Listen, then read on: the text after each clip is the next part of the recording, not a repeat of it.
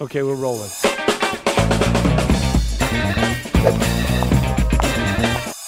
Hey guys, this is the Amois H001. These are all handmade shoes out of Mexico City, and they are just really gorgeous, amazing leathers. This uh, designer is a Spanish designer, Alejandro Alonso, made these shoes exclusively for City Soles and citysoles.com. You can see the artisan qualities here, gorgeous leathers, really soft Napa. This is a 120 millimeter heel with a half an inch platform on the inside to take down the pitch a little bit. It's very sturdy and uh, a good size heel, not one of those skinny spiky suckers you can't walk in.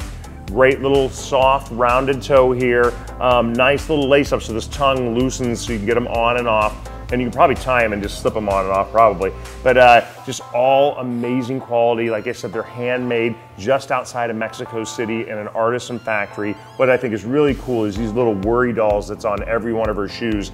And uh, they are to fend off evil spirits and give you a safe passage through life. So these are great story. The shoes are absolutely beautiful. You see the artisan quality and, and, and I, people will shop, stop you in the streets and ask you where you got these because they have that that feel, that richness, just a, like a, a bohemian artist, just really sexy and fun, and uh, definitely individual style. So as always, remember, if you're gonna kick ass, you need some kick-ass shoes.